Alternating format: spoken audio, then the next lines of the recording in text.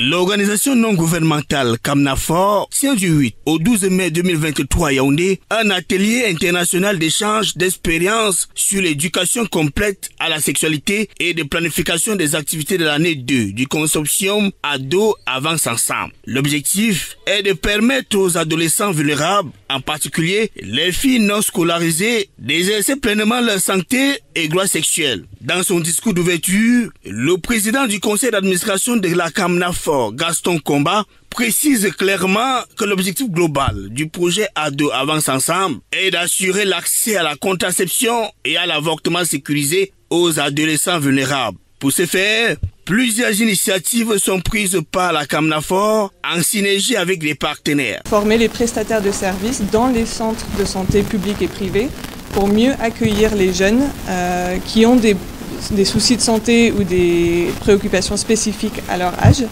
euh, et aménager les espaces pour que ce soit plus accueillant pour euh, la jeunesse. Sous la houlette du président du conseil d'administration Gaston Combat, le programme Ado Avance Ensemble s'arrime à la modernité avec la formation des influenceurs. Également, on forme des influenceurs euh, sur les réseaux sociaux pour créer un environnement sociétal dans lequel euh, le jeune se sent à la confiance en soi pour parler de sexualité, pour s'informer, pour poser des questions.